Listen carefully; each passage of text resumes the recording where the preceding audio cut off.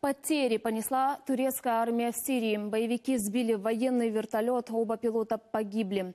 Они принимали участие в боевой операции «Оливковая ветвь». О причастности к случившемуся заявляют курдские боевики. Они выложили в сеть видео падения машины.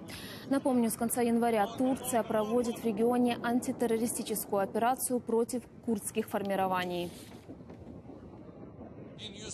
На сегодня нейтрализовано уже 1141 террориста. Один наш вертолет сбили. Конечно, такое случается. Это война. У нас есть погибшие, но и мы заставляем противника нести потери. Они заплатят высокую цену.